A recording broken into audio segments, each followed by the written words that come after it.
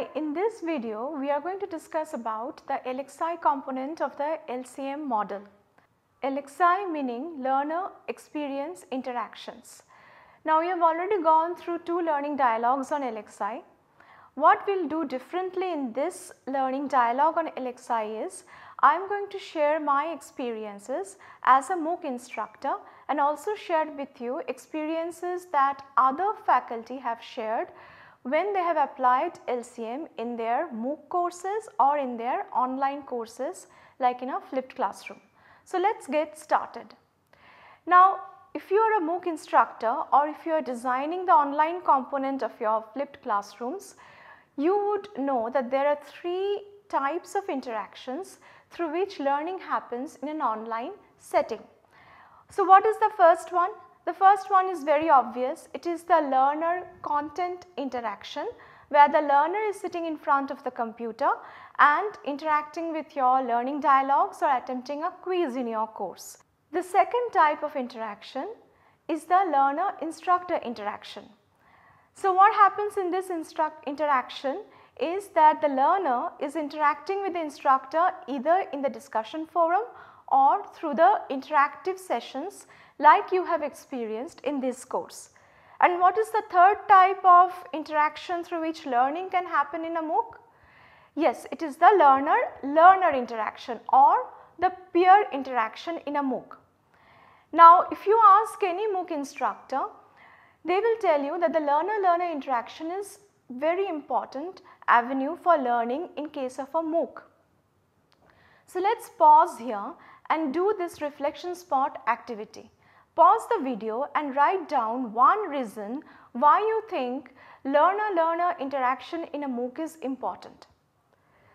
Once you are done answering the question, then only resume this learning dialogue.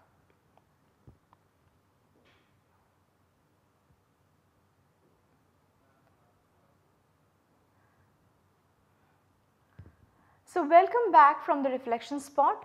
I hope you have written down your reason as to why the learner-learner interaction is important in a MOOC. Let me guess some of your answers. Some of you may have said that learner-learner interaction is important because suppose you are a MOOC learner and you need feedback on the solution you have generated. If you post it in the forum, then there is probability of one of your peers or a course mate coming and giving you feedback on your solution. So, this is a very important learning avenue in a MOOC where the instructor is not so readily available as in a classroom setting.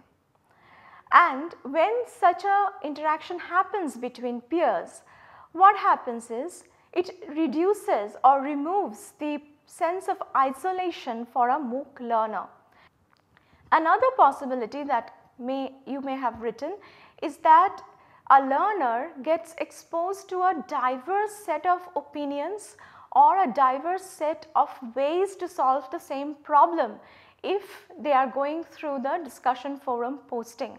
That is also a very important avenue for learning in a MOOC setting. So, this is the summary of the benefits of learner-learner interaction in a MOOC setting.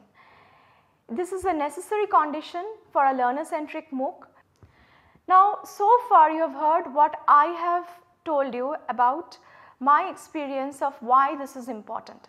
Let us see what research says about the importance of peer interaction in a MOOC.